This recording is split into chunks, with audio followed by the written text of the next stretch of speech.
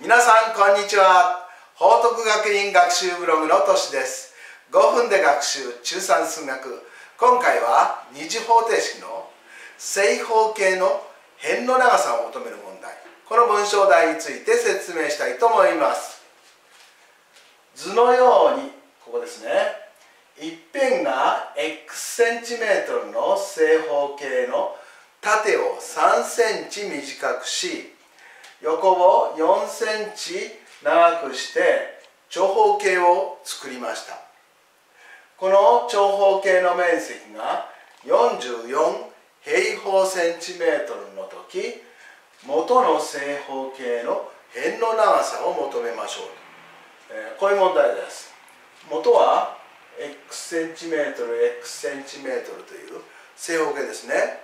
これを縦を3センチ短くして横を4センチ長くしてこういう長方形を作ったんです、えー、このことから長方形の縦の長さ縦は x を3センチ短くしているので x-3 センチね x-3 センチメートルということが言えますね、えー、今度は長方形の横の長さ。横は x より4センチ伸びているので x 足す4センチメートル。こうなります。そしてこの長方形の面積が44平方センチメートルになっているということです、えー、長方形の面積は縦かける横ですから x-3 と x 足す4をかけると44になる。こういう式が出来上がります。まずこれを展開すると x2 乗足す x 引く12イコール44こうなりますね。44を移行します。x2 乗足す x 引く12引く44は0ですから x2 乗足す x 引く56は0と。こうなってこれを因数分解するわけですね。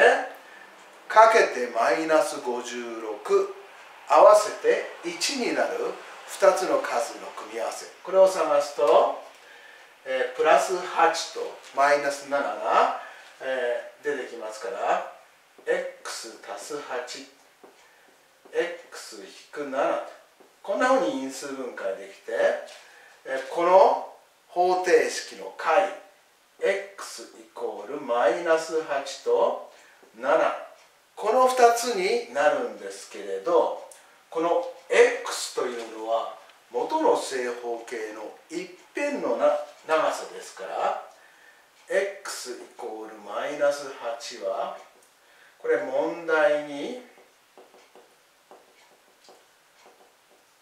問題にこれ適さないんですね。ですから答えは x イコール7だけということになります。で正方形の一辺の長さ7センチメートルとこのようにわかるわけです、えー、今日も最後まで見ていただいてどうもありがとうございました。皆さんはどうぞこの動画を参考に教科書や問題集の問題に取り組んでみてください。ではまたお会いしましょう。さようなら。